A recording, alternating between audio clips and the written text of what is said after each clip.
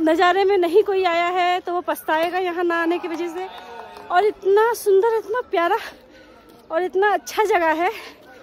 मेरे, जो मैं हाफ़ सांस ले रही हूँ, उसके लिए माइंड नहीं करना, क्योंकि यहाँ पहाड़ी इतनी ऊँची नीची चढ़ाई है। चढ़ते चढ़ते थके, क्योंकि हम कल चढ़ाई माता रानी का भी किए थे।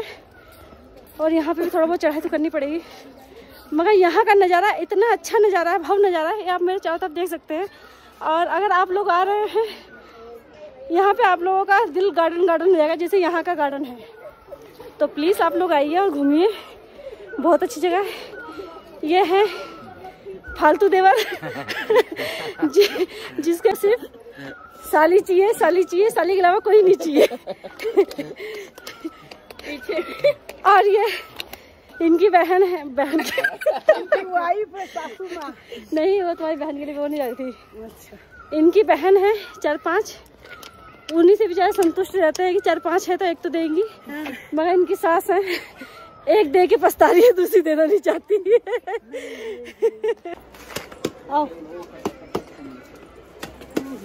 इनको देख रहे हो? इन बहुत हिम्मती औरत है। पूरे कमर में रोड पड़ा हुआ है। फिर मंदिर में माता रानी का दर्शन किया। नीचे तक चढ़ाई मतलब हर जगह घूमने में मस्त है। साला बैंड बज रखी है। हम लोग यहाँ चाय पीने बैठे हुए हैं।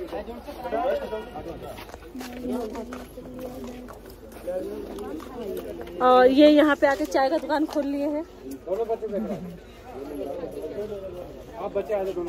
बोलो लाइक शेयर चैनल को पान खा रखे बोलो। अगर आप लोग चाहते हो पान खाने वाले लोगों से बुलवा सकते हैं तो बुलवाइए। बोलिए लाइक शेयर माई बोलो लाइक शेयर वीडियो गए देख लो। इसलिए कहते हैं पान नहीं खाना चाहिए।